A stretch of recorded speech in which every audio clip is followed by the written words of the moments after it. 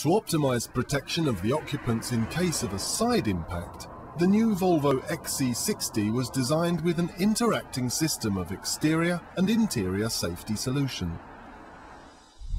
The safety cage around the passengers is designed as a network of steel profiles, each of them with a specific role during the deformation process. The different properties have been achieved by using different grades of steel.